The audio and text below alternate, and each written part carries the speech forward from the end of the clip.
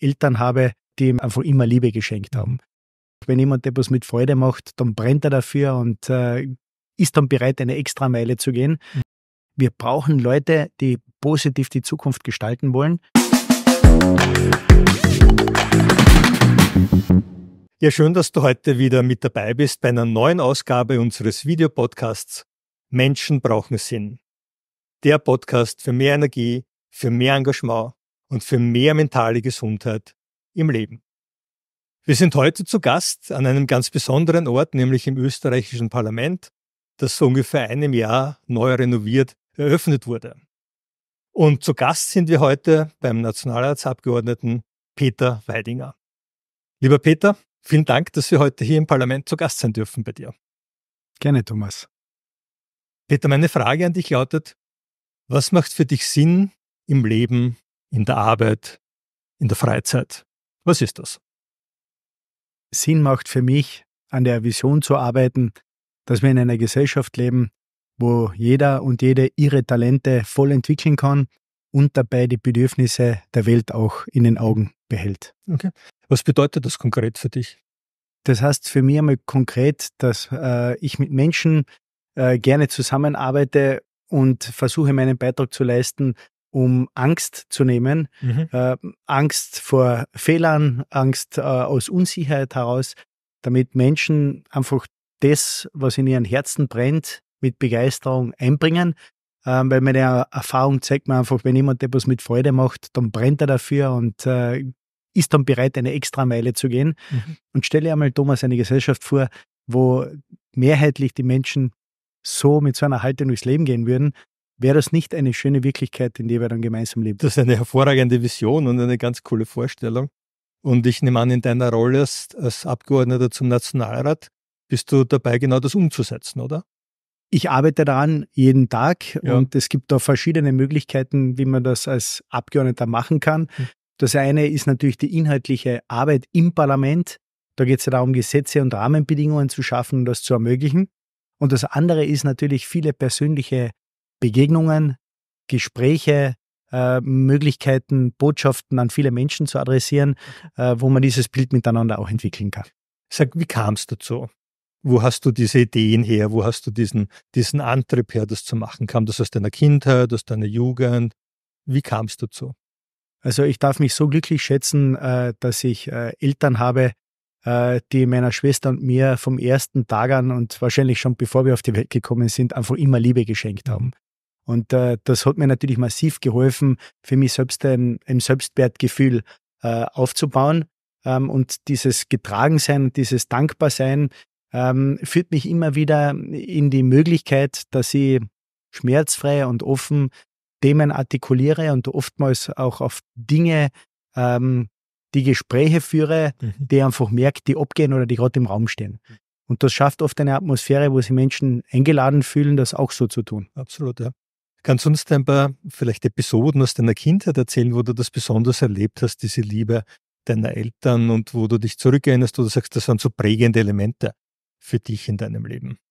Ja, also mein Vater, der letztes Jahr, also 2023, dann plötzlich verstorben ist, ähm, war wahrscheinlich mein größter Fan, wenn ich so formuliere.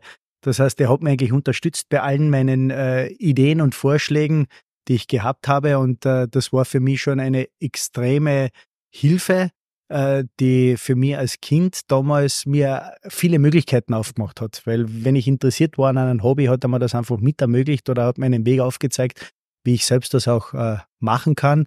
Äh, sei es Fußballspielen, dass er mich zum Fußballtraining gebracht hat oder auch immer wieder abgeholt hat. Aber es waren auch Themen wie Geschichte, das mich immer interessiert hat. Und äh, so hat mein Vater mir einmal ermöglicht, dass ich als Zwölfjähriger mit ihm, meiner Mutter, äh, nach Ägypten gefahren bin zu den mhm. Pyramiden. Und ich werde das nie vergessen, wie da so als kleines Kind oder ja, noch nicht Jugendlicher vor diesen riesigen Pyramiden gestanden bin ähm, und äh, ja, das war schon ein besonders inspirierender Moment und dafür bin ich meinen Eltern dankbar, dass sie mir immer wieder solche Momente geschenkt haben. Du bist in Kärnten aufgewachsen? Ja, wie man mein Leilei nimmt. Man hört Genau, ich stamme aus, aus Villach, äh, aus Kärnten. Äh, meine Nonna, meine Großmutter, war Mitglied der italienischen Minderheit in Südtirol. Mein Großvater war der siebte von neun Bauernkindern, ist äh, deutsch- und slowenischsprachig aufgewachsen. Also ein echter Kärntner. Also ein richtiger Kärntner, weil da hat jeder in seiner Familiengeschichte einfach ja ein Best of der Alpenadria-Region. Okay. Das heißt, die, die Liebe deines Vaters und dass er alles für dich getan hat und alle deine Wünsche erfüllt hat und hier mitgezogen hat, das ist das, wo du sagst, das hat dich so richtig geprägt und wo du auch bemerkt hast, dass das dein Leben verändert. Naja, ich glaube, mein Vater hat vor allem sehr viel Geduld mit mir aufgebracht, Mhm. weil ich habe das gemerkt, dass ich als Kind dann auch immer wieder einmal auch jähzornig war, mich geärgert habe, wo meine Mutter es manchmal verglichen hat, dass ich mich da sehr an meinen Opa orientiere. Okay. Und äh, mein Vater hat es eigentlich verstanden, dass äh, mich gut anzunehmen, wie ich bin, mir aber auch den Raum zu geben und mir das zurückzuspiegeln, dass es auch einen Moment gibt über den Ärger hinaus. Und das hat mir dann über die Jahre eigentlich geholfen, darüber zu reflektieren, wie ich selber für mich mit diesen Emotionen auch umgehe. Mhm. Ja, aber das hat viele Jahre gedauert, bis ich das eigentlich verstanden habe, welche Qualität diese Art von Liebe auch war. Mhm. Wie ist dann der Weg zum Nationalratsabgeordneten? Du hast ja Just studiert, wenn ich mich da richtig Genau. informiert habe. Wie Ja. ging es dann weiter? Es war im Endeffekt so, also mit äh, 16 hat mich ein Freund angesprochen, ob er einmal mithelfen will, Glühwein auszuschenken am Villacher Hauptplatz für Bedürftige Villacher Familien. Bin dann draufgekommen, das war die junge ÖVP, habe mich da mit den Werten der ÖVP äh, auseinandergesetzt, konnte mich dann damit identifizieren, weil Eigenverantwortung, Freiheit, Leistung war für mich wichtige äh, Werte. Habe dann mein Studium äh, der Rechtswissenschaften in Graz absolviert und war parallel dazu auch schon in der jungen ÖVP in Kärnten engagiert. Ähm, habe dort angefangen als, als Mitglied, als Kassierstellvertreter, war später auch Landesobmann der jungen ÖVP in Kärnten und äh, bin dann nach dem Studium äh, ja dann in die USA gewechselt. Ähm, habe dort die Möglichkeit gehabt, einen intensiven Englischkurs auf der Universität in Pittsburgh Mhm. äh, durchzuführen ähm, und äh, ja, habe dann dort viele tolle internationale Erfahrungen machen dürfen. Wie ist es dir gelungen, diese, diese Erfahrungen aus deinem Elternhaus hier mitzunehmen und umzusetzen in der ÖVP und jetzt in deiner Arbeit? Wie, wie funktioniert das ganz konkret? Also konkret ist es so, dass ich für mich gelernt habe, nicht zu schnell zu bewerten Mhm. und schon gar nicht zu beurteilen. Okay. Weil es bringt jeder seine Familiengeschichte mit, ähm, auch seine persönliche Story, Mhm. wie er zu dem wurde, was er ist. Und äh, das halte ich für ganz, ganz wichtig, dass man da in einem Gespräch, aber auch in einem politischen Thema möglichst einen gesamtheitlichen Blick äh, entwickelt, Mhm. um dann bestmögliche Entscheidungen treffen zu Mhm. können. Und wenn du das bemerkst in deinem Leben, ist dann, dann ist das etwas, wo du sagst, das macht jetzt Sinn für mich, einmal zu beobachten, zu schauen, miteinander in Diskurs zu kommen. Würdest du das als etwas Sinnvolles für dich bezeichnen oder sagst, das ist genauso, wie ich es haben will? Also für mich macht Sinn die Begegnung und die Chance, dass ich eigentlich in jedem Gespräch für mich was Neues entdecken kann. Okay. Weil ich erfahre entweder in einer Sache etwas Neues Mhm. oder über den Menschen, der mir gegenüber sitzt oder auch über mich selbst. Mhm. Und äh, ich bin ja leidenschaftlicher Zugfahrer, das heißt, ich fahre die meiste Zeit mit dem Zug von Villach nach Wien. Da hat man noch vier Stunden 20 Zeit. Ähm, und da gibt es auch viel Zeit Nicht mehr für lange, es wird bald schneller. nicht mehr lange. Das ist die Kolbenbahn, das ist ein Herzensthema, auf das werden wir dann heute sicher auch noch zu sprechen kommen. Ähm, und da genieße ich es eigentlich mit unterschiedlichen Menschen ins Gespräch zu kommen, ähm, weil jeder, jede Begegnung ist ein Geschenk. Mhm. Wenn die Menschen dann mit dir im Gespräch sind, was empfindest du da? Wie, was geht da in dir vor? Was passiert in dir? Es sind ja ganz unterschiedliche Menschen, die du da triffst in der Bahn. Ähm, Wie fühlt sich das an für dich? das ist eine gute Frage. Also ganz unterschiedlich. Mhm. Ähm, man merkt ja oft, wenn ein Gesprächspartner gestresst ist, gestresst ist, dann suche ich auch nicht das Gespräch. Das heißt, es braucht da immer die Bereitschaft, dass man Signale bekommt, dass man ins Gespräch kommen möchte. Ähm, und äh, dann geht es mir oft einfach darum, zu erfahren, wie es dem Menschen gegenüber geht, Mhm. um dann zu verstehen, ähm, äh, wie man auf Haltungen oder auf Meinungen kommt. Und ich habe für mich gelernt, dass diese Königsdisziplin, nämlich das Gespräch zu führen und eine Beziehung aufzubauen, gerade in Zeiten wie diesen umso sehr Mhm. wichtig ist, weil trotz Social Media und allen Me Möglichkeiten, die wir technisch haben, das Menschsein ist dieser Austausch. Absolut. Ja. Und wie ich es eingangs erwähnt habe, ähm, seine Talente nur alleine für sich zu entfalten, ist auch ein Weg, aber wäre schade in einer demokratischen Gesellschaft, wenn man das nicht äh, mit dem Bild abgleicht, was auch eine Gesellschaft auch benötigt. Das heißt, du würdest sagen, du hast Neugierde am anderen Menschen, an der anderen Person und auch Neugierde daran entwickelt, wie Menschen zu ihren Meinungen kommen. Denn die Menschen könnten etwas meinen, eine Auffassung haben, die nicht deiner entspricht. Ja, definitiv. Ja. Also ich unterscheide da auch nicht mit Menschen, äh, die jetzt da die gleiche Meinung wie ich vertreten mhm. oder Menschen, die eine andere Meinung haben. Äh, ich finde, wir sitzen alle in einem Boot mhm. ähm, und wenn wir aufeinander zugehen, entwickeln wir ein Verständnis. Mhm. Und äh, ja, da treibt mir eine Neugierde, wie Menschen dicken und äh, warum sie tun, was ja. sie tun. Also ich finde das total spannend, wie du das sagst, weil ich glaube, dass uns das in der Gesellschaft wirklich gut tun würde, wenn unterschiedliche Meinungen vorhanden sind, was ja gut ist. Wir brauchen ja eine Vielfalt an Meinungen. Jedoch, dass wir nicht aufeinander losgehen, sondern vielmehr verstehen, wie kommst du zu deiner Meinung. Bin zwar nicht einverstanden, aber wie kommst du zu deiner Meinung und wie kommst du zu deiner Meinung? Und dann sozusagen, wie Menschen zu ihren Meinungen kommen, daraus einen Diskurs zu entwickeln. Ist das etwas, wo du dem zustimmen würdest, dass das Sinn machen würde? Definitiv. Also ich glaube, dass ganz wichtig ist, dass wir mehr über Respekt und über Wertschätzung ja. von und miteinander reden. Äh, es ist diese Floskel so schnell gesagt und oft kommt sie so blutleer rüber. Aber es sind diese kleinen Signale und die Details, die es eben ausmachen. Und ich glaube, wir brauchen das gerade in unserer demokratischen Gesellschaft, dass grundsätzlich vom Herzen her an eine Neigung hat, dass man auf den anderen zugehen möchte. Mhm. Das bedeutet nicht, dass man die Meinung von dem anderen teilt, genau. Aber dass man in, seiner Würde und in der Unantastbarkeit äh, des Menschseins akzeptiert und respektiert. Und das sind für mich eigentlich die Grundpfeiler, die es braucht, dass wir miteinander friedlich gut leben können. In deiner Funktion als Abgeordneter zum Nationalrat, wie kannst du das umsetzen? Da habe ich eine schöne Definition für mich, was Zukunft bedeutet. Ich habe vor kurzem von Florence Gaub, das ist eine Szenario- und Zukunftsforscherin, ein tolles Buch gelesen, das heißt Zukunft.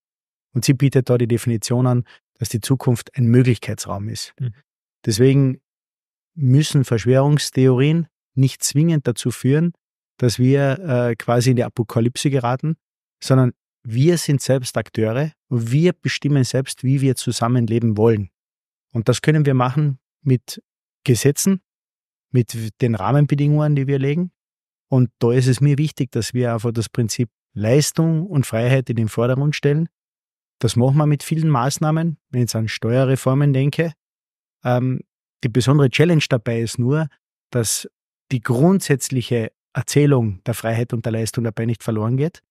Und aufgrund der Fülle der verschiedenen Aufgabenstellungen, die wir haben, sei es vom Klimawandel über den Krieg oder die neue Weltordnung, die noch nicht da ist, aber im Entstehen ist, ähm, herrscht meiner Meinung nach viel Druck in der Gesellschaft. Ja.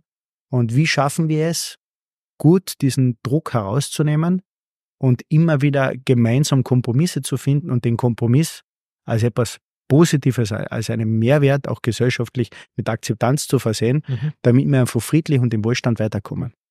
Jetzt könnten wir erst als Zuschauer des Parlaments, der Debatten manchmal zur Meinung kommen, da geht es relativ wild zu. Wie lässt sich das vereinen mit deinem Ansatz, hier neugierig aufeinander zuzugehen? Das ist eine besondere Herausforderung, mhm. weil äh, wir ja als Abgeordnete, als Politiker auch verschiedene Rollen wahrnehmen.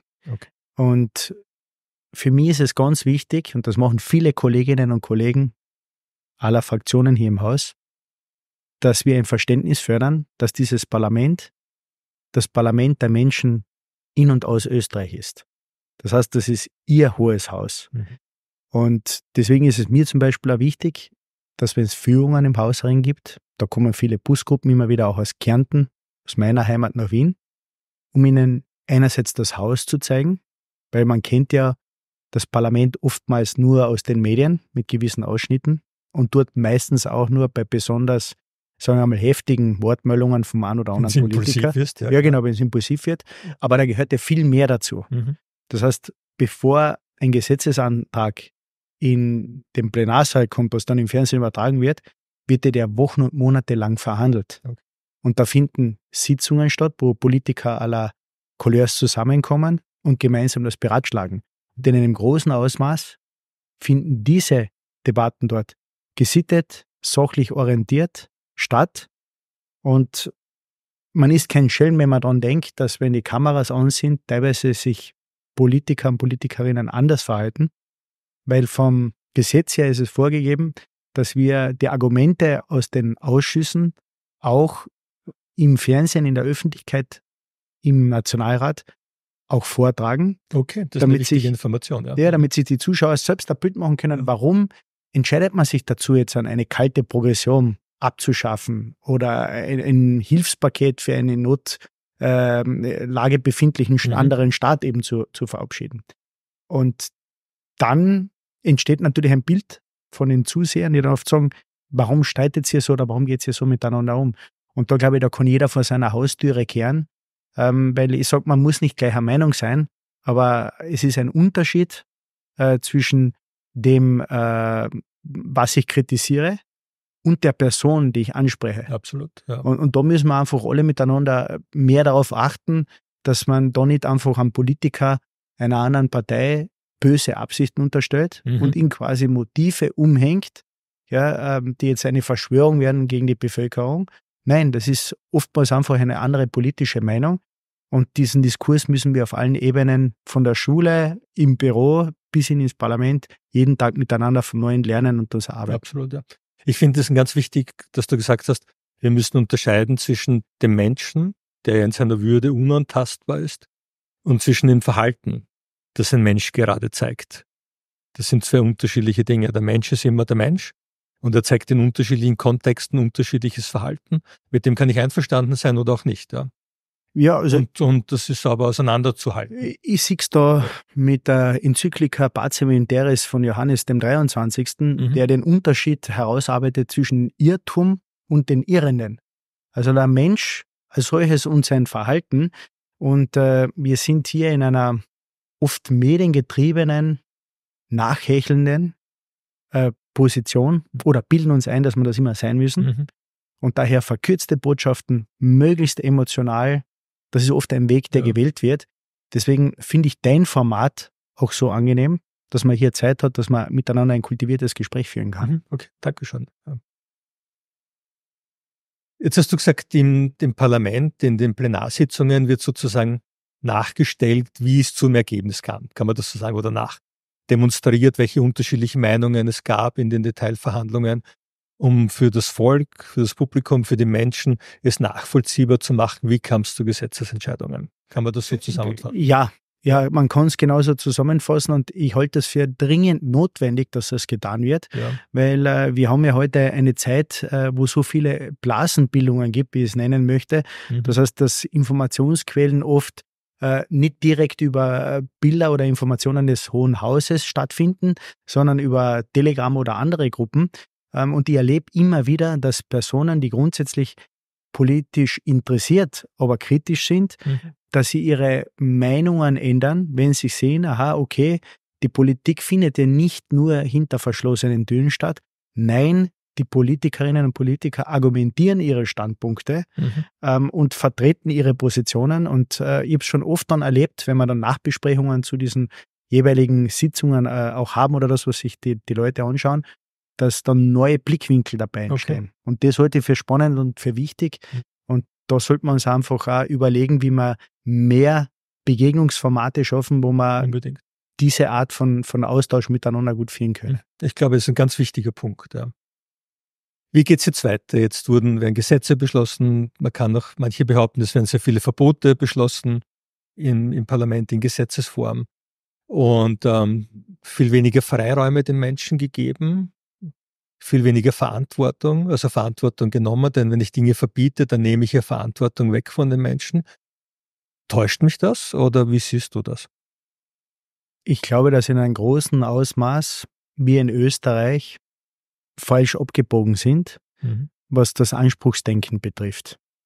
Ähm, für mich ist einer der Hauptfragen als Politiker, wie schaffen wir es, eine gewisse Neugierde und einen Mut auf Zukunftsgestaltung in der Gesellschaft zu verankern, dass das morgen besser wird, als das gestern war. Und in der Beziehung ähm, möchte ich jetzt nur das angloamerikanische Denken hernehmen und ich löse es jetzt von der Frage Trump und Biden. Mhm. Ich nehme es eher als kulturelle, grundsätzliche Position her. Mir gefällt unheimlich gut der Ausdruck, the best is yet to come. Mhm. Und ich finde, diese Einstellung Bruch, ja. mhm. ist sowas Schönes, ja. äh, dass wir immer danach äh, den Anspruch haben, äh, nämlich nicht, dass wir ohne Leistung und ohne persönliche Anstrengung quasi im Garten Eden sind und mhm. uns alles mit dem Silbertablett gereicht wird, sondern dass der Weg dorthin, eine Leistung, ein Ziel zu erreichen, so viel an Selbstwertgefühl, an Freude vermittelt und an Vorbild sein kann für andere Menschen, um es ja. mit seinen Talenten nachzumachen, ähm, dass wir schauen äh, sollten, dass wir wieder auf diese Ebene kommen. Mhm. Ja, und vielleicht, weil du gesagt hast, wie kommt man ähm, quasi auf dieses Lebensgefühl, dass man in vielen Bereichen übersättigt ist?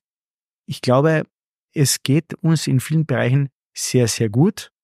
Ähm, aber wenn es immer wieder Stimmen gibt, die ihnen erklären, es könnte uns noch viel besser gehen, wenn man nur dem anderen mehr wegnimmt, um es dem einen zu geben, ähm, dann gibt es natürlich auch einen Teil in der Bevölkerung, die gerne sich dieses Schlafenland herbeiwünschen will. Mhm. Das muss man auch offen ja. so sagen. Wie könnte man das hinbekommen? Nicht? Also wir haben einerseits den, die Beobachtung, dass wir sagen, okay, die Menschen wollen immer weniger arbeiten, wollen weniger tun. Der Staat hat viel erledigt während Corona. Kann man, war das gut oder nicht? Kann man unterschiedlicher Meinung sein. Auf jeden Fall hat sich ein bisschen so eine, eine, wie soll ich sagen, eine Gemütlichkeit oder sagen wir Bequemlichkeit vielleicht eingeschlichen in der Bevölkerung. Und andererseits gibt es den Anspruch an die Leistungskultur, wo durch und andere sagen, es ist notwendig, wieder mehr zu tun, wenn wir den Wohlstand erhalten wollen und ausbauen wollen. Wie wird das gelingen aus deiner Sicht, aus Sicht der Politik? Was kann da konkret gemacht werden? Wie können wir wieder richtig abbiegen, um dorthin zu kommen, wieder Sinn zu vermitteln? Es gibt ja den Spruch, wer Leistung möchte, wer Leistung fordert, muss Sinn geben. Wie kriegen wir das hin in die Bevölkerung? Fangen wir mit der Klimafrage an. Okay. Ich glaube, wir haben hier einen Common Sense, dass das Klima nur zu retten ist, wenn wir auf der Welt zusammenarbeiten. Mhm. Wenn ich jetzt dann für mich ausgehe davon, dass Zusammenarbeit in der Welt notwendig ist, um so eine große Herausforderung zu meistern, dann ist es auch notwendig, dass ich mir die Welt anschaue, wie sie ist. Und damit per se nicht, wie ich sie mir wünsche, wie sie ist, mhm. sondern wie sie ist. Und ich nehme jetzt nur her, wir haben drei Prozent ähm, der Erdmasse ist Europa, 6 Prozent der Weltbevölkerung ist Europa und 15 bis 16 Prozent der Wirtschaftsleistung weltweit werden in Europa erarbeitet. Mhm. 50 Prozent aller Sozialausgaben der gesamten Welt werden ausgeschüttet auf 6 Prozent der Weltbevölkerung. Das heißt, wir sind unangefochtene Spitze, was die sozialen Standards betrifft. Nur diese hohen sozialen Standards haben einen Preis. Und der Preis ist, dass wir eine starke Wirtschaftsleistung haben, dass wir innovativ sind, dass wir neue Ideen entwickeln. Mhm. Und wenn es uns gelingt, hier auch einen Common Sense darüber herzustellen, auf diesen Blick, wie die Welt auch funktioniert, dann glaube ich, haben wir ein großes Bild, wo es uns leichter fällt, ein Verständnis zu entwickeln, mhm. warum es wichtig ist, dass wir innovativ und neugierig bleiben und immer wieder nach neuen Lösungen streben, um Themen vor Ort zu lösen. Mhm. Und ich nenne ein Beispiel, und da greife ich gleich nach den Sternen. Okay. Wer hätte denn jemals gedacht, dass wenn die Vereinigten Staaten von Amerika und die NASA ein neues Weltraumprogramm launchen, dass eine österreichische Firma den Zuschlag bekommt, um für das neue Mondfahrzeug die gesamte Antriebstechnologie zu entwickeln. Mhm. Das ist AVL aus Graz. Mhm. Das heißt, für uns ist quasi jetzt jeder Bahnhof in Österreich ein Weltraumbahnhof, der nach Graz führt, weil man dort mitbauen kann an einem Thema, das die Menschen deswegen betrifft, weil durch Wissenschaft und durch Forschung im Weltraum bessere Medizin und damit bessere Lebenserwartungschancen und höhere Möglichkeiten für ein längeres, gesundes Leben für die Österreicherinnen und Österreicher quasi als Nebenprodukt neben Weltraumforschung geschaffen werden kann. Und ich glaube, unsere Aufgabe auch als Politiker und Politikerinnen besteht darin, dass wir solche Ideen mehrheitsfähig machen. Ich glaube einfach, es wäre wichtig, diese großartigen Leistungen, die es ja zweifellos gibt in, in Österreich, und diese innovativen Ideen. Ich habe selbst einmal in einem Startup-Unternehmer gearbeitet, Aha. das einfach, in, einfach enorm und weltweit führend ist in, in Drive-by-Wire und Fly-by-Wire-Technologien. Mhm. Und ich glaube einfach, dass es wichtig ist, diesen Gedanken, den du gerade formuliert hast, in die Köpfe der gesamten Bevölkerung hineinzubringen, weil ich einfach glaube, es ist meine persönliche Wahrnehmung, mhm. dass das viel zu wenige Menschen in Wirklichkeit interessiert. Und die Mehrheit der Bevölkerung sich eigentlich um ganz andere Dinge kümmert. Nämlich, wie bin ich auf Facebook, wie komme ich dort an, wie bin ich in Social Media präsent, wie kriege ich vielleicht auch meine Nahrung und meine Unterkunft für morgen, wie kann ich meinen Lebensunterhalt finanzieren. Ich glaube, wie schafft man denn das, diese, diese Innovation und diese Leistung auch auf eine Ebene zu kommunizieren, die für die gesamte Bandbreite der Menschen in Österreich so interessant ist, dass alle sagen, wow, das ist eine coole Sache, was wir hier können. Also ich glaube, die Frage wird sein, wie wollen wir zusammenleben? Mhm. Und damit müssen wir uns beschäftigen und das fängt in der Gemeinde an. Das fängt vor der eigenen Haustüre an. Ich war jetzt gerade vor kurzem bei der Eröffnung von einer neuen Mikroelektronikfirma bei mir äh, in Villach äh, in Fürnitz. Wir okay. haben uns in Fürnitz ja auch kennengelernt. Ja. Ähm, und das war dort ganz spannend, wie dann dort äh, über diesen Nachmittag äh, eigentlich ein Bild entstanden ist. Dort war die Trachtenmusik, die hat mhm. ihre Musik gespielt. Dann waren dort die Eigentümer aus Singapur, das ist der Finanzstaatsfonds äh, von Singapur, den diese Firma gehört und das Management. Das war früher ein Kärntner Vielhaar Startup, ist gleich geblieben. Okay. Das sind 200 Mitarbeiter, die dort arbeiten.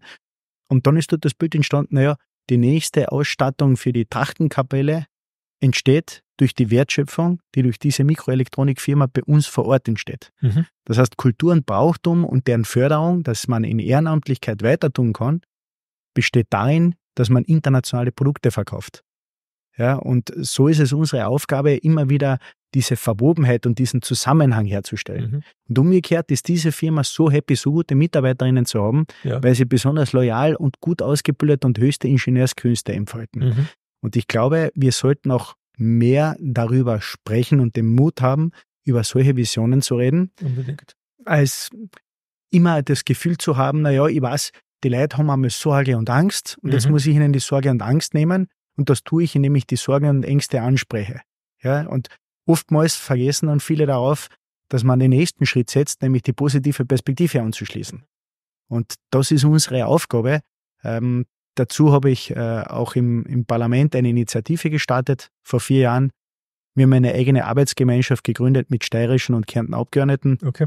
die sich mit dem südösterreichischen Raum und dem neuen Zusammenwachsen durch die Kornbahn beschäftigt, mhm. weil wir jetzt 1,1 Millionen Menschen haben, die in 70 Minuten Entfernung äh, miteinander leben mhm. und neue Möglichkeiten haben und möchte das an einem Beispiel einfach illustrieren. Ja. Ähm, da gibt's, nehmen wir sie die Clarissa, ja, die wohnt in Börtschach und die ist leidenschaftliches Mitglied der Landjugend. Gleichzeitig schlägt aber in ihrer Brust ein zweites Herz, sie will ausgezeichnete Biologin werden. Mhm. Und sie kann jetzt mit der Kornbahn leicht von Börtschach nach Graz pendeln, um dort ihr Studium zu absolvieren und wird niemals eine Probe von der Landjugend in Börtschaft versäumen, weil sie mit den 15 Minuten Fahrzeit leicht wieder zu Hause sein kann. Das heißt, hier geht es darum, die Alltagssituation von einem konkreten Menschen zu verbessern und damit äh, mehr Lebenschancen zu bieten. Ich glaube, unsere Aufgabe soll es sein, mehr konkret über diese Lebenschancen zu sprechen. Unbedingt, ja. Wie leistbarer Wohnraum dadurch möglich ist, wie dadurch möglich ist, den Vorteil des Lebens quasi am Land zu haben, mhm. trotzdem die Vorteile der, des urbanen Raumes mit Bildungsangeboten genießen zu können. Und das alles äh, in einer Lebensqualität, die äh, heute einfach nur in Österreich und den Kärnten ja. zum Vorfinden ist. Das führt uns ja zurück an den Beginn des Gesprächs, wo du ja die Frage gestellt hast, wie wären das, wenn alle Menschen schon aufeinander zugehen würden, neugierig wären, interessiert wären und eine Vision erfüllen würden. Und vielleicht ist das der springende Punkt, der vielleicht mir in der Politik abgeht, einfach mehr darüber zu sprechen, was ist denn dann, wenn wir das erreicht haben? Was wird denn sein? Weniger mhm. über die Ängste und Sorgen und Nöte, die müssen natürlich adressiert werden, das ist gar keine Frage. Jedoch mehr darüber zu sprechen, was ist denn dann, wenn die aufgelöst sind, wenn die gegangen sind? Wie wird denn unser Leben sein? Wie lässt sich das gestalten? Wie werden unsere Kinder aufwachsen? Wie werden wir leben in der Zukunft? Vielleicht hier mehr in diesen, in dieses visionäre Denken zu kommen und hier eine gewisse, wie soll ich sagen, eine gewisse Begehrlichkeit, einen gewissen Antrieb, mhm. eine, einen, einen bisschen einen Zug dahin zu schaffen, oder? Das wird sagen, ja, das möchte ich haben, das möchte ich haben, das ist doch cool. Wir, lass uns das angehen, oder? Also, ich möchte da gleich zwei Dinge verknüpfen. Ja, bitte. Also etwas, was die wenigsten Österreicherinnen und Österreicher wissen, ist, dass wir im Parlament ähm, einen eigenen Innovationsbericht äh, zweimal jährlich bekommen mhm. über alle technologischen Entwicklungen, die es in der Welt gibt. Die sind geclustert.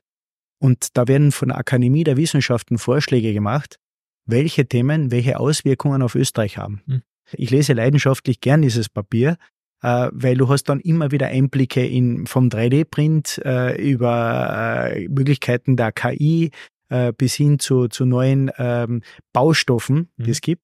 Und das ist eigentlich eine gute Grundlage, wie wir auch Österreich neu denken können. Und ich verstehe das eigentlich immer als Einladung, dass das ein Nährboden dafür ist, aus dem wir unsere Visionen bauen. Und wir lassen uns zu sehr Visionen, die keine Visionen für uns sind, von außen auf uns überstülpen mhm. und haben dann eine gewisse Sorge, weil wir oftmals uns entmutigt fühlen, wie wir damit umgehen sollen und wünschen uns dann sowas wie einen Glassturz. Und für viele ist es dann so der Ausweichpunkt, dass man sagt, okay, na, ich will mich mit dem gar nicht beschäftigen, mit diesen Dystopien. Wenn ich nur wegschaue und wenn wir nicht drüber reden, dann wird der Komet quasi an uns vorbeigehen. Mhm. Das geht aber nicht, weil die Konsequenzen tragen wir immer. Deswegen ist für uns jetzt die Aufgabe, dass wir diese Veränderung umarmen und neue Möglichkeiten daraus kreieren. Und ich denke mir dort gerade, weil ich aus dem Süden von Österreich komme, ähm, wir liegen am Scheitelpunkt von drei Weltkulturen, den germanischen, den romanischen und den slawischen Kulturkreis, der hier zusammenkommt, am Dreiländereck. Ähm, was hält uns davon ab, die größte Friedensregion der Welt zu werden? Nur wir selber in unseren Denken. Und jetzt kommt die gute Nachricht, wenn man den Kippschalter umlegt, dann können wir in die Formate denken. Mhm. Was wäre, wenn wir die größte Friedensregion der Welt wären? Wie würde sich das anspüren für die Menschen? Es würde sich so anspüren, dass die Menschen miteinander liebevoll umgehen, am Blick aufeinander werfen, nicht in Angst und Sorge, nimmt mir der jetzt was weg, mhm. sondern wo die Kinder friedlich miteinander spielen können. Wo man Sprachen spricht, wo man die äh, Italienisch, Slowenisch, Englisch aus einem Selbstverständnis heraus als Chance mhm. umarmt und wo Menschen einfach komplett neue Ideen haben, wo sie aus der Freiheit heraus neue Talente entdecken und denen einfach einen freien Lauf geben. Mhm. Ich glaube, dass die offene Gesellschaft eine große, eine große Antwort darauf gibt. Aber das, was ich oft vermisse, ist und was dann bei vielen Feedbackgesprächen aus der Bevölkerung kommt, ist, dass wir oft zu wenig klar sind bei der Abgrenzung wie wir mit, mit Feinden von solchen offenen Gesellschaften umgehen. Mhm. Und da haben wir als Politik viel mehr Verantwortung, dass wir äh, mit klaren Spielregeln dafür sorgen, dass äh, Dinge, die die Demokratie untergraben und die offene Gesellschaft, äh, dass wir gegen die entschlossen vorgehen. Mhm. Auf jeden Fall, ja. Beginnen müsstest du eigentlich im Kindergarten, dieses visionäre Denken. In der Schule, in der ja. Ausbildung, in den Jobs, in den Betrieben. Ja in den Familien? Schau, ich finde, Österreich ist ein großartiges Land, ja, und ähm, wenn man es in Österreich schafft, ich möchte das ummünzen von Frank Sinatra. If you make it there, you make it anywhere, mhm. weil wir auch gern dazu äh, neigen, einmal auch äh, vielen neuen Ideen gegenüber einmal mit einer, sagen wir mal, äh, vielleicht K&K Reserviertheit gegenüber zu treten. Schauen wir mal bei diesen Dingen. Gell? Ähm, deswegen bin ich ein großer Fürsprecher von der Idee, dass in den Kindergärten und in den Schulen wirklich die allerbesten Persönlichkeiten, die die Republik aufbringen kann, ähm, auch äh, Hand mit anlegen an der Ausbildung von jungen Menschen. Das darf keine Aufbewahrungsstätte sein, Nein, sondern das muss eine visionäre Denkwerkstatt Nein, das sein. Muss, das muss eine Leonardos Denkerwerkstatt ja. sein, äh, wo die Kinder von klein auf mit verschiedensten Fragen konfrontiert werden. Also ich war mal ganz begeistert, durfte ja auch einmal äh, ein äh, Dreiviertel des Jahres in den USA leben, mhm. haben wir dort vieles angeschaut und es war für mich immens äh, spannend zu sehen, ähm, wenn junge Studierende mit 20, 21 Satellitenbilder äh, auswerten, ähm, äh, wie Regenfälle äh, sich auf der Welt entwickeln oder wie in Kindergärten Kinder in Challenges über ganz äh, Amerika miteinander antreten, äh, wie man Roboter gesteuert, äh, kleine Maßgeräte, also Maßroboter steuert. Okay. Und die haben das in Kindergärten Ja. einfach vermittelt, ähm, weil äh, man dort einmal sagt, das Sky ist der Limit. Wir neigen dazu, tun wir kleine, bescheidene Brote backen, tun wir nicht zu sehr Mhm. auffallen. Gell? Und äh, das bringt mich natürlich als Politiker, sage ich Thomas auch ganz offen, auch immer wieder in einen gewissen Konflikt, gell? weil du hast ja auch die Aufgabe, ähm, Menschen auch anzunehmen, wie sie sind. Klar. Ja, also wir sind keine, ich bin kein Oberlehrer. Ja, also du hast früher angesprochen, Verbotsthemen, heute für einen falschen Weg. Also äh, Menschen zu verbieten, ähm, äh, wir sind keine Oberlehrer. Gell? Ähm, aber wie schaffen wir es miteinander, lustvolle Sehnsüchte äh, von einer schönen Zukunft zu gestalten, ähm, wo wir dann selber aktive Akteure sind. Und ich versuche das in meiner Region, indem wir dort seit einem Jahr komplett neue Wege gehen. Wir arbeiten dort in Workshops mit den Bürgermeistern und mit den Gemeinderäten zusammen, ähm, wo wir als Abgeordnete vom Landtag und vom Nationalrat nicht auftreten und dann den Leuten erklären, was haben wir jetzt alles Gutes für euch getan und bitte spendet jetzt viel Applaus, Mhm. sondern wo wir eher einen Hut aufsetzen von einem Begleiter bei Projekten, wie zum Beispiel, es geht jetzt äh, um Ausbau öffentlichen Verkehr. Wie können wir mit bestehenden Förderkulissen oder mit innovativen Mhm. Ansätzen vor Ort diese Lösungen gemeinsam arbeiten? Das heißt, so schaffen wir auf einmal Mehrwert und wir werden eigentlich zu Teams, ich möchte sagen, Agenten des Wandels, die vor Ort ihre Netzwerke und Know-hows Mhm. zusammenlegen, um dementsprechend Lösungen in Form eines Mehrwertes für die Bevölkerung zu schaffen. Mhm. Und da sehe ich viel mehr Aufgabe in Zukunft auch von Seiten der Politik. Mhm. Es entspricht dem, was du vorher gesagt hast, einfach neugierig zu sein. Wie denken die anderen Menschen? Was li- liegt ihnen dort am Herzen? Um was geht's denen? Und einfach als, Politi als Politiker und als Politik in Summe dann auch die Rahmenbedingungen zur Verfügung zu stellen, damit das Realität werden kann, oder? Ich sage mir, für viele Menschen ist es nach wie vor ein, ein Lebensziel, eine Familie zu gründen, Ja. einen guten Job zu haben, wo ich einen sinnvollen Beitrag äh, Mhm. leiste für die Entwicklung der Gesellschaft, äh, Freunde zu haben ähm, und in einem Umfeld zu leben, das mich glücklich macht. Ja. Und ich glaube, dass wir da in Österreich mit diesem Lebensstandard und das, was uns der Herrgott und die Natur geschenkt haben, in einer Frontrunner-Position sind. Mhm. Und vielleicht gibt uns jetzt gerade diese Veränderung, die jetzt momentan noch an, an Unsicherheit äh, empfunden wird, aber auch die Möglichkeit, dass wir den Blick wieder schärfen können, gemeinsam mit der Bevölkerung, was ist besonders schützenswert Mhm. äh, an, an diesen guten Möglichkeiten, die wir haben. Und ich bin da ein grenzenloser Optimist, Mhm. äh, dass ich mir sicher bin und davon überzeugt bin, dass die Mehrheit der Bevölkerung sich diese positiven Perspektiven wünscht. Weil äh, was habe ich denn dann davon, wenn ich sage, ja, ich habe ja immer schon gesagt, wir werden jetzt äh, überrannt von Migrationsströmen aus der ganzen Welt. Schau, Thomas, ich bin selber Familienvater. Äh, viele Freunde von mir haben Kinder. Ich wünsche meinen Kindern, dass die äh, zumindest die Lebenschancen bekommen, die ich erhalten habe. Ja, und dass sie in einer guten, sinnvollen Welt aufwachsen.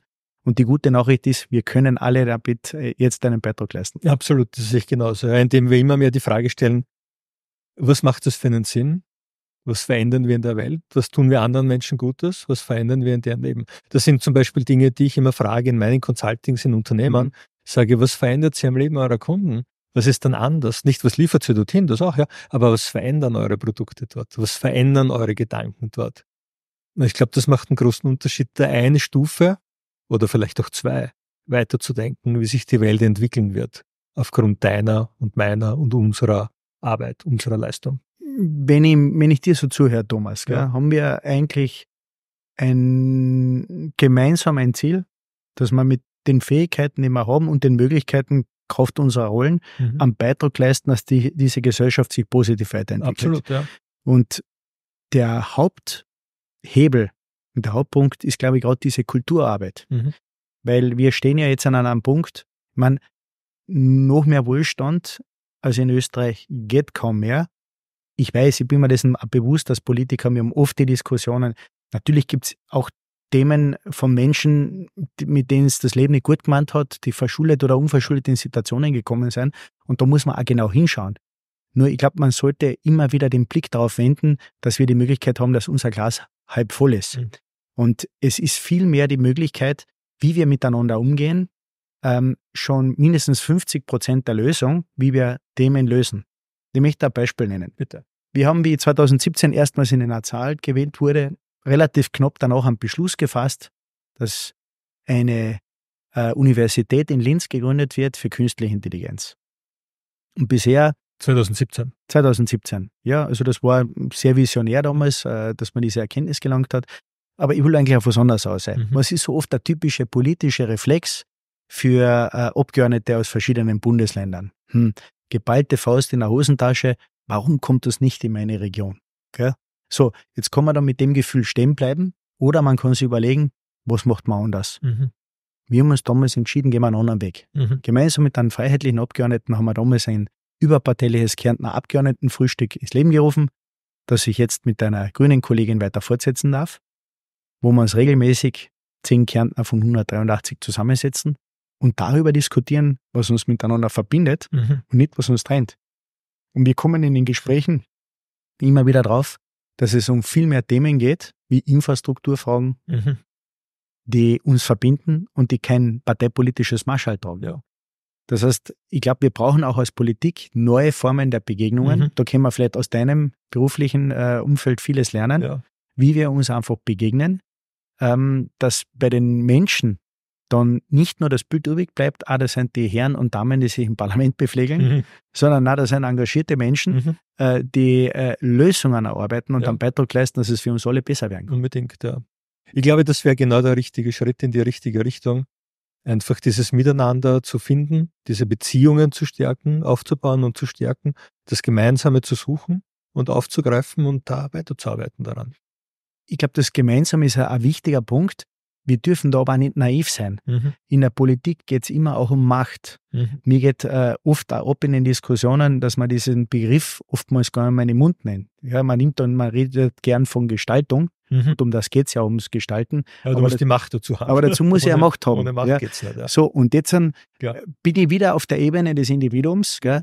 Welche Bereitschaft hat der Einzelne, um an Macht zu kommen? Mhm. Ja, und natürlich haben wir eine Gesellschaft, die Gott sei Dank eine äh, zivile ist, dass wir äh, uns in Österreich zu Recht, und das müssen wir auch immer wieder äh, weiter arbeiten, entschieden haben, dass wir das demokratisch machen. Das heißt, man greift nicht zu Gewalt, sondern man äh, verwendet die Stärke des Wortes. Mhm.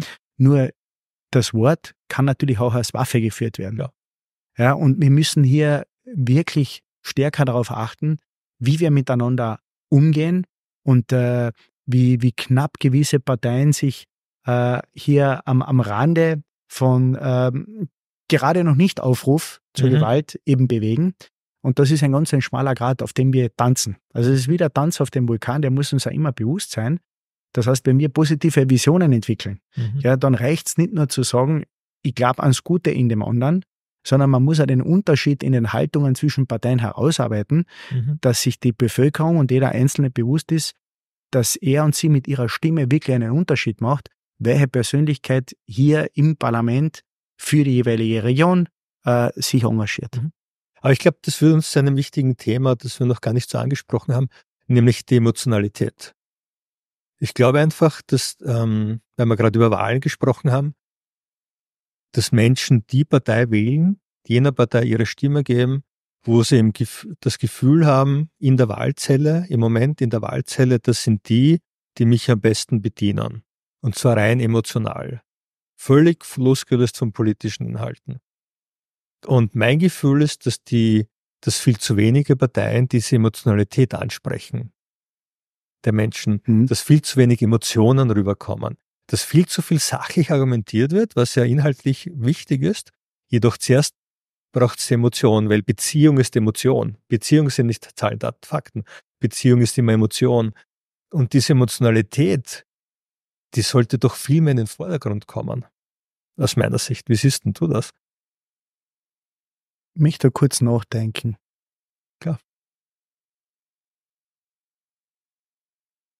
Ich glaube, ähm, ohne Gefühle, ohne echte Emotion geht's nicht. Mhm. Aber diese Emotion ist immer verführerisch dass sie zur Manipulation einlädt. Ja, natürlich, ja. Und äh, deswegen ist es für mich ganz wichtig, dass ich daran arbeite, für mich, dass ich möglichst authentisch bin. Mhm. Weil ich glaube, dass da aus der Authentizität erwächst dann äh, ein Gefühl, ja. wo das Gegenüber sich dann einlassen kann oder sich auch davon überzeugen lässt, mhm. dass dahinter eine positive Absicht ist, der gemeinsamen äh, Gestaltung von der Gesellschaft. Okay. Und ich glaube, wir sollten uns da stärker bewusst sein, dass man, und ich bin ÖVP-Politiker, äh, dass die Werte, für die wir einstehen, wie Eigenverantwortung, Hilfe zur Selbsthilfe und Leistung, dass die nicht nur im Mottenkosten der Ideologie stehen, sondern dass wir die glaubwürdig auch selber leben müssen. Mhm. Absolut, ja. Und diese Glaubwürdigkeit und die Authentizität, nämlich mhm. authentisch zu diesen Dingen zu stehen, ich glaube, es ist diese Mischung, die dann dazu führt, mhm. dass man anziehend wird. Mhm. Und wir wollen ja als Politiker so anziehend sein, dass, wie ja. du es beschrieben hast, dass man in der Wahlurne ein gutes Gefühl hat, eine Stimme abzugeben. Mhm. Und ich merke da schon aus einer Innenansicht, als äh, ein Vertreter einer Regierungspartei, gell, äh, dass man natürlich stark dazu neigt, dass man viel Einblick bekommt, wie komplex oft Entscheidungen getroffen werden mhm. und zum Schluss dann ein Kompromiss dann da ist, der auf den ersten Blick äh, wenig äh, spaßige Gefühle hervorruft, ja. weil man oftmals durch vermeintliche äh, sachliche Notwendigkeiten dann auf einen Punkt kommt, äh, der manchmal als trocken wahrgenommen mhm. wird. Deswegen glaube ich, ist es nochmal so wichtig, dass wir unser großes gemeinsames Ziel miteinander formulieren. Das heißt, mhm. the big picture. Und the big picture ist, wie wollen wir in Österreich im Jahr 2030, 2040 zusammenleben? Wie ist unsere, unser Verhältnis zu Europa? Wie ist unser Verhältnis zur Welt? Mhm. Und äh, ich wünsche mir, und ich versuche es in meiner Arbeit, mhm. ähm, auch diese Themen Platz und Raum zu geben, um das immer wieder auch mit der Bevölkerung zu diskutieren. Ich glaube einfach, dass hier aus meiner Sicht eine, dass mehr mit Emotionalität aufgeladen werden könnte. Aus einem einfachen Grund, weil die Verführer dieser Welt, und da meine ich jetzt die schlechten Verführer dieser Welt, mhm. immer mit der Emotionalität der Menschen gearbeitet haben. Immer. Und in den seltensten Fällen bis nie wirklich sachlich fundierte Argumente dazu gebracht haben, sondern sie haben mit Emotionen den Menschen in den Tod geschickt zum Beispiel und die sind jubelnd in den Tod gezogen. Und die Verführer dieser Welt arbeiten immer mit Emotionalität.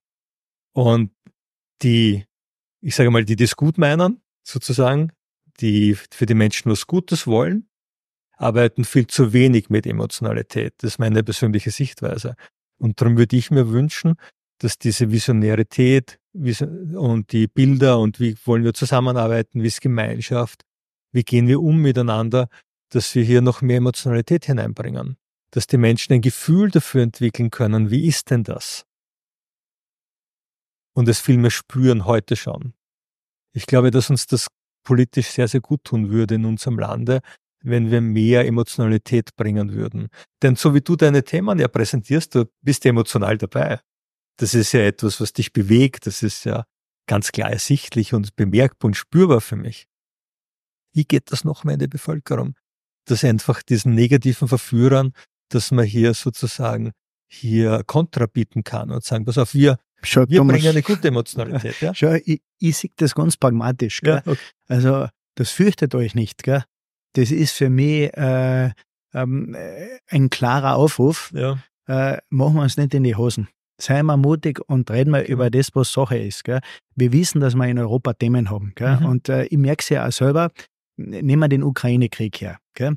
Ich merke das bei Leuten, die äh, eine Bereitschaft haben, äh, sich für eine bürgerliche Partei zu entscheiden, aber die auch Unwohlsein haben, weil sie sagen, okay, ich wünsche mir jetzt, dass es diesen Krieg nicht gibt. Okay. So, äh, klar. klar äh, und dann äh, hast du oft das Thema, das Ausblenden von Themen. Das heißt, mhm. reden wir bitte nicht über das, tun wir dazu auch nichts und dann wird es für uns schon besser werden. Gell? Und ich glaube, wir stehen wir jetzt dann auf so einer auch gesellschaftlichen Zeitenwende, mhm. dass wir miteinander die Verantwortung haben, diesen Sprung zu schaffen.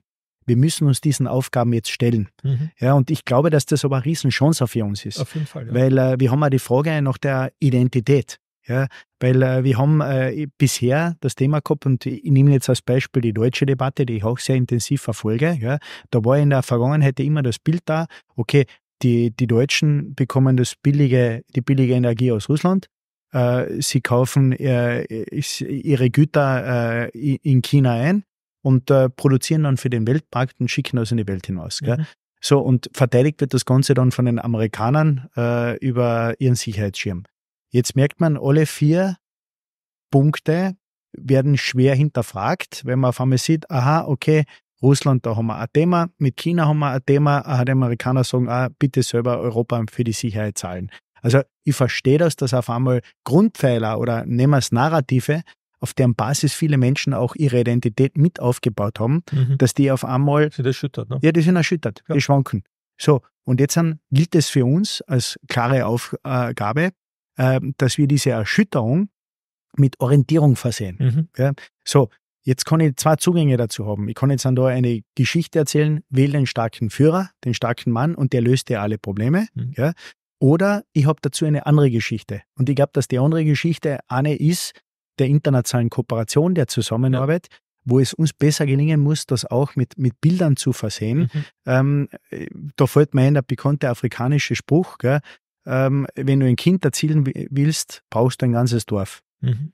Also wie schaut jetzt dieses Dorf Österreich aus, genau. wo wir es schaffen, Menschen in Freiheit äh, so auszustatten, dass sie ihre Talente ausleben können und ihre Fantasien ummünzen mhm. in der Gesellschaft. Mhm. Ja, und an dem müssen wir arbeiten und weniger Angst haben vor den technokratischen äh, Fragestellungen und mhm. mehr über die großen Themen auch, auch sprechen und die Bevölkerung dafür gewinnen. Ja. Wie, wie der Spruch von Exupéry, wie er gesagt hat, wenn du ein Schiff bauen willst, dann lehre den Menschen nicht, wie man ein Schiff baut, sozusagen, wie man die Bretter zusammennagelt, sondern wecke in ihnen die Sehnsucht nach der Ferne. Ja, absolut. Ja. Also ich merke es ja zum Beispiel so, äh, wie ich zum Beispiel jetzt für mich ChatGPT nutze. Mhm. Ähm, ich gehe jetzt her und im Parlament reden oder Themen, die mir am Herzen liegen und stelle dann die Frage, ChatGPT, wie würde John F. Kennedy diese Rede halten? Okay. Das, das heißt, äh, äh, was einfach neue Zugänge mhm. nutzen und das dann als gedankliche Stützen auch verwenden, mhm. wie man äh, neue Erzählungen in Bildern ja. vermitteln kann, um Emotionen auszulösen. Und das geht's, ja. Äh, also mein Zugang dabei ist ganz stark in der Region mit erfolgreichen Bürgermeisterinnen und Bürgermeistern und den Gemeindevorstände an konkreten Projekten für die Bevölkerung zu arbeiten. Mhm. Aber für uns ist es natürlich auch eine große Challenge, das österreichweit äh, aufzuziehen. Was mir persönlich dabei hilft, ist der Österreich-Plan vom Bundeskanzler Karl Nehammer, der viele Ziele eben vorgibt. Ähm, aber die Ziele allein sind sie ja nicht, sondern es geht darum, wie wir das gemeinsam auch erzählen. Genau. Und, und an dem müssen wir einfach mehr arbeiten. Mhm, absolut, ja, absolut. Sag lieber Peter, zum Schluss unseres Gesprächs, was ist dir nochmal zusammengefasst vielleicht ein Herzensanliegen für unser Publikum, das du noch gerne vermitteln möchtest? Ein Herzensanliegen ist mir bitte, äh, und jetzt spreche ich direkt deine Zuseherinnen und Zuseher an, sich zu engagieren, mhm. sich einzubringen. Mhm. Äh, es gibt tolle Projekte wie Teach for Austria, wo Unternehmerinnen, Unternehmer und Menschen, die einfach in ihrem Bereich eine Expertise haben, aufgefordert sind, an die Schulen zu gehen und dort mitzuhelfen, dass die nächste Generation mit neuen Impulsen und neuen Inspirationen ausgestattet ist. Aber genauso eine Verantwortung in der Gemeinde zu übernehmen, sei es im Vorgemeinderat oder im Gemeinderat oder auch als Bürgermeisterin. Mhm. Wir brauchen Leute, die positiv die Zukunft gestalten wollen und davon kann es nie genug geben. Mhm. Und äh, davon brauchen wir einfach, ja, äh, in allen Parteien die Besten. Mhm. Hervorragend. Ich finde das ein, ein hervorragendes Schlusswort. Und alle, die sich da engagieren wollen, sollen einfach einen Kommentar zu diesem YouTube-Video schreiben und ich stelle dann den Kontakt zu dir, weil das reicht. Das sehr, sehr gerne. Ja, so machen wir das. Ja, lieber Peter, vielen Dank für deine Zeit, für unser Gespräch und dass wir hier Gast sein durften im Parlament hier in Wien in der inneren Stadt. Danke, es ist dein hohes Haus und komm bald wieder. Danke, mache ich gerne. Wenn es auch dir gefallen hat, dann like das Video, hinterlasse einen Kommentar und abonniere den Kanal. Bis zum nächsten Mal.